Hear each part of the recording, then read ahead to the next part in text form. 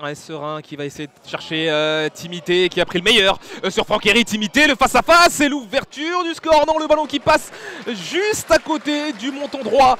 Qui a levé les, les deux bras, le capitaine de cette formation qui va travailler ce ballon. La tête Et cette fois-ci, euh, c'est bien Dunkerque qui trouve la faille pour marquer ce premier but ici à Massabielle. Un but à zéro euh, pour euh, Dunkerque après cette tête Ekmeyer avec Rocheteau, cette fois-ci le crochet de Rocheteau, il va s'ouvrir le chemin euh, du tir, c'est pas fini avec Bongongui et cette fois-ci et on est très vigilant côté Dunkerquois. Oh, Rocheteau qui subtilise le ballon à Baba Touré. Il y a du monde dans la surface de réparation. Jonathan Ligali qui s'interpose.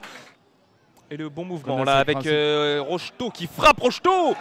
Et Jonathan Ligali qui, va jouer avec euh, Rocheteau dans la surface de réparation. Il a fait la différence, Rocheteau. Et c'est Jimmy Banor finalement euh, qui va pouvoir se dégager. Attention avec euh, c'est Bongongui qui récupère ce ballon. Corner euh, des herbiers sans conséquence.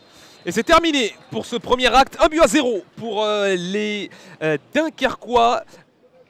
Avec Pagerie qui va se centrer. Bongongui au deuxième poteau Bongongui au deuxième poteau qui reprend euh, ce ballon pour égaliser après euh, deux minutes de jeu seulement.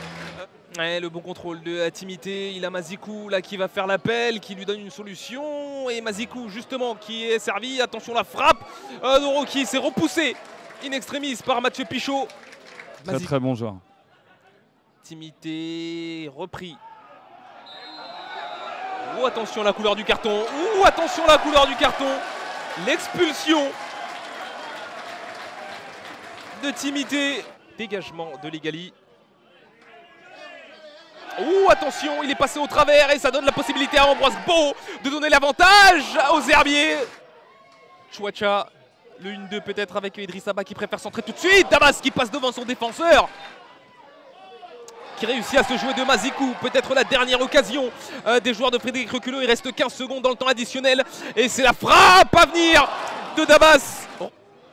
C'est fini. Un but partout. Et mauvaise opération pour les Herbiers qui ont longtemps joué en supériorité numérique et qui concèdent le nul ici à Joanne.